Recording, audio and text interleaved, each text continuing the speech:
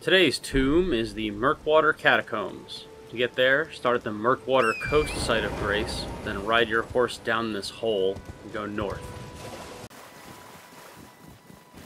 The big video is still coming along. The script is done and I'm like 15% of the way through editing it.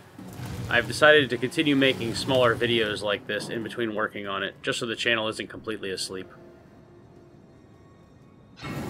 I did some experiments with this dungeon, and I found literally no useful strategies at all for dealing with this place at a low level, beyond extreme patience.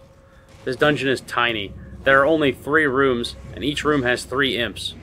Unless you want to slowly bait out nine imps one at a time, the best way to deal with this dungeon is either to make a suicide run to the lever, then respawn and sprint to the boss room, or just don't come here until your character is strong enough that imps mean nothing to you, because dealing with this is just not worth it at all.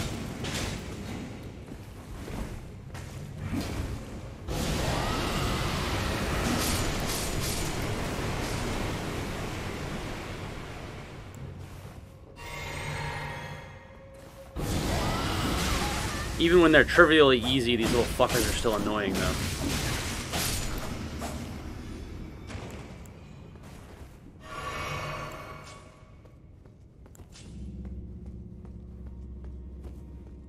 The boss is a Grave Warden Duelist, which is a good boss for an early game dungeon like this, but the Catacomb itself is such cancer that the decent boss does not redeem it.